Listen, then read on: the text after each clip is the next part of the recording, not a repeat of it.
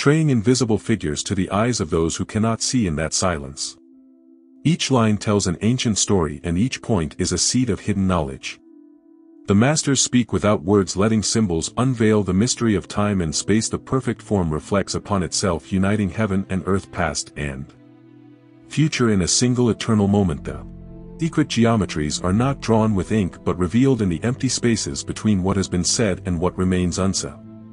The key is not visible to those who seek with human eyes but hides between the curves of the circle and the angles of the star truth is not found in the design but in the relationship between the forms in the rhythm of proportions.